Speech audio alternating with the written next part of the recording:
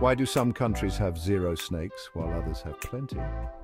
Curious, you're in the right place. New Zealand. This country's got strict biosecurity laws and is nestled far from any snake habitats. No snakes here. Ireland? Legend says St. Patrick drove them out, but really it's the cool climate and separation from mainland Europe.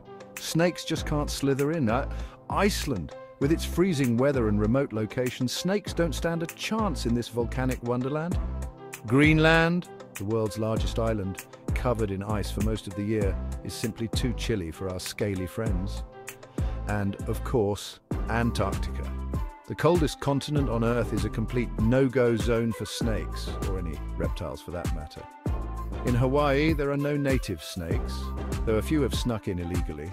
Thanks to strict laws, the locals work hard to keep it that way. Some islands in Fiji, like the Yasawa Islands, are blissfully snake-free, but watch out, some parts do have the Pacific boa. So next time you're planning a snake-free adventure, you know exactly where to go. Happy travels.